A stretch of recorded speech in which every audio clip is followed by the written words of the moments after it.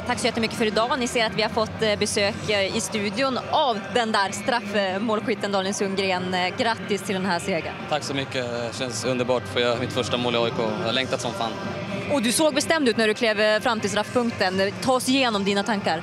Nej, det tog ganska lång tid. Sauli låg i straffområdet så det hann flyga ganska mycket tankar faktiskt. Sen hörde jag lite psykningar bakom, bakom ryggen men jag har gjort det på träningar och ah, det gör samma sak på match.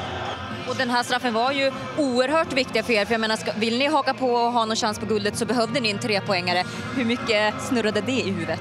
Nej, exakt. Eh, nej, men eh, det är som du säger, vill vi haka med i toppen så måste vi vinna framförallt våra hemmamatcher. Eh, och det var kanske ingen skön lir idag, men det är tre viktiga poäng och det känns underbart nu. Om du tittar då på straffsituationen som ledde fram, eller situationen som ledde fram till straffen. Om du tittar på bilderna, var det straff enligt dig tycker du?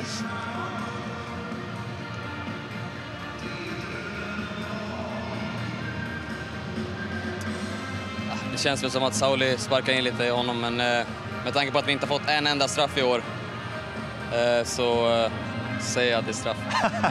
Nej, det, det, det, där är nog inte straff, men som sagt, vi har blivit berövade på, på några straffar i år så det känns känns skönt att få någon i alla fall. I ett större perspektiv Daniel, ni har spelat en hel del matcher nu med vad man säga, lite nytt spelsystem där du blir ganska ensam på kanten. Eh, Fast det känns inte som du är ensam. Det känns som du får väldigt mycket yta att ta dig fram i. Hur, hur är din eh, bild av, eh, av rollen just nu? Ja, det är som du säger, det är väldigt nytt för mig eh, och för hela laget. Men det är skönt att ha de här stora ytorna. Sen gäller det att ha lungorna för det. Du Ska veta att det är jävligt jobbigt att behöva springa upp och behöva springa ner.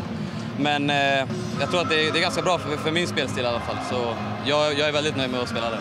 Ja, men för det blir ju nästan så att det blir väldigt mycket mer involverad så att säga. Man kanske ska spela upp på en yttermittfältare och sen ta sig runt och så får man den ibland och ibland inte. Ja, det känns precis. som att du har väldigt stort ansvar för, för, för liksom hela kanten och att, du, ja. att det funkar rätt bra. Ja, nej men alltså grejen är när de slår de här, när vi har spelare där bak som kan slå de här crossbollarna så, så är det väldigt svårt för motståndarna att försvara när vi kan göra åt båda hållen. Så man, man, oftast har man ganska mycket tid på sig och det är väldigt skönt. Våren hade ni Carlos Strandberg fram en annan typ nu om vi säger och Markkanen. Hur påverkar det? Nej, men vi vet ju att Carlos är jävligt bra i djupet så eh, det, det, är någonting som vi kanske har saknat lite grann men jag tycker när vi spelar med Yasin så har vi faktiskt eh, bra djupledsspel. Bara, bara det att vi inte sätter dem lika tydligt. Stort grattis till den här segern och eh, viktiga poäng. Tack för idag. Vi ska få faktiskt prata med eh, domare Andreas Ekberg